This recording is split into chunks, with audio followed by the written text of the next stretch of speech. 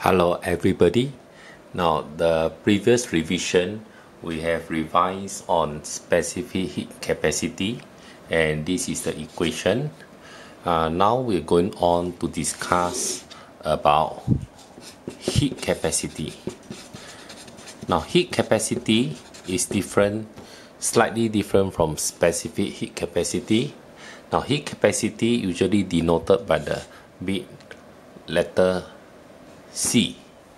Now, an example of heat capacity example of a spoon. Say if it's 900 joules per degree Celsius. Now take note that it's joule per degree Celsius. Unlike for specific heat capacity is joule per kilogram per degree Celsius. Now what does this mean?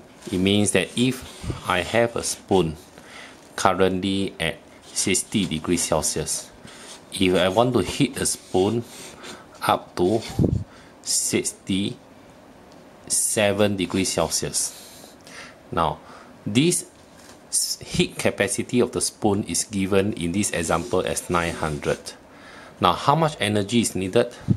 The equation will be energy equals to big C change in temperature. So in this case is 900 times 7 the answer will be in joules. So the formula when we use heat capacity is energy equal to C times change in temperature. Now heat capacity is referring to the object in this case the spoon.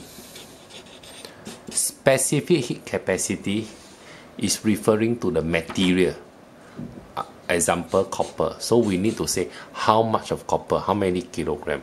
So for heat capacity we are talking about the whole spoon the object. So there's no need to say per kilogram. So you just say in simple words for every 1 degree celsius increase in temperature for the spoon i need 900 joules of energy. So let's look at the difference